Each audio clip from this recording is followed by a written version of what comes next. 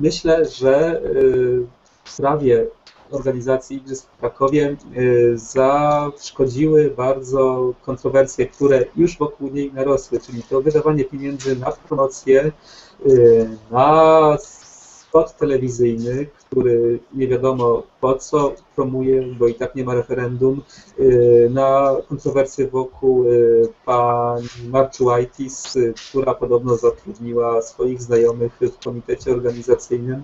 Mm, więc jak to jest z tymi, z tymi kontrowersjami, nie do końca jasnymi powiązaniami?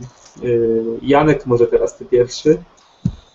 No tak szczerze, jeżeli chodzi o kwestię tego nieszczęsnego spotu, no to ja bym to zasłonił trochę kurtyną milczenia, bo ten spot naprawdę mi się, no nawet już od takiej strony, jak to wygląda artystycznie, no nie podoba mi się cały ten pomysł. Kwestii tutaj pani Marczułajtis, no to nie będę się wypowiadał, bo akurat tutaj szczegółów nie znam. Słyszałem, że jest jakaś tam E, się zrobiła jakaś tam e, lekka afera wokół tego.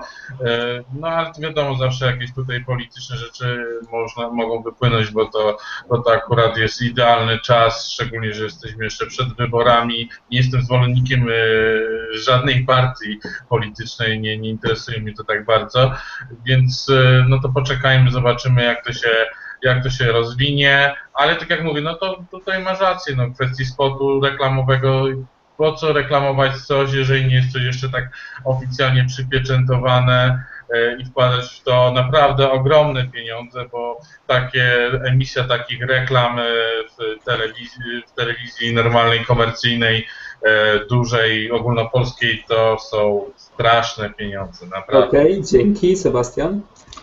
To znaczy, ja powiem tak. Jako Krakus, znaczy nie wiem, czy czy wiecie, czy Janek na przykład wiesz, e, e, kto tak naprawdę za ten spot wyłożył?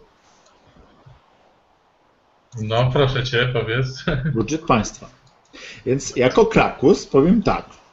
Ja nie mam nic przeciwko temu, żeby to budżet państwa wydawał na promocję Krakowa e, te półtora miliona złotych. I osobiście cieszę się, że ta reklamówka chodziła w telewizji w Polsce, promując Kraków do przyjeżdżania na to wyłożyło, wyłożyło, mm, wyłożył budżet państwa i naprawdę tutaj nie ma nic przeciwko temu, bo tak naprawdę trudno jest teraz reklamować e, jeszcze Kraków poza granicami e, w sprawie igrzysk, ponieważ no, nie jesteśmy jeszcze oficjalnym e, aplikantem. To dopiero będziemy mogli tak naprawdę robić po wakacjach. Mhm. Ale Natomiast jest teraz potrzebna taka reklama. Tak, ja uważam, że tak. Jeśli za to wyłożyło budżet państwa promując Krakowa, że, że, że Kraków jest tak samo dobry dla uprawiania sportu i że, Kraków, e, że w Krakowie marzenia się spełniają, ja nic nie widzę przeciwko temu, zwłaszcza, że to wyłożyło budżet państwa. Natomiast sprawa, mm, sprawy z panią Marczołajtis, ja uważam, że, że te sprawy należy wyjaśnić.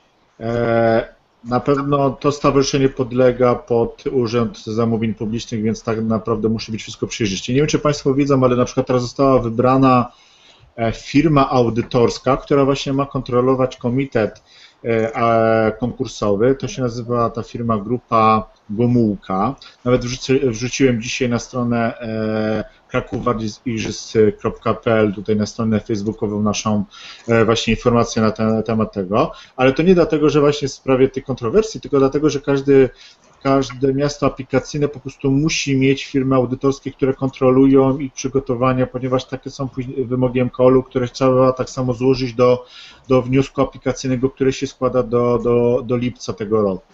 Więc tak naprawdę na pewno e, e, komitet konkursowy podlega nie tylko firmie audytorskiej teraz, która została wybrana, ale tak samo tak samo miastu oraz tak samo e, to się nazywa, tak samo regionalnej, regionalnej tej obrachunkowej, nie pamiętam jak ona się nazywa, komisji chyba obrachunkowej, która tak samo sprawdza finanse komitetu konkursowego, w skład którego wchodzą miasto Kraków, Oświęcim, Kościelisko Zakopane, Myślenice.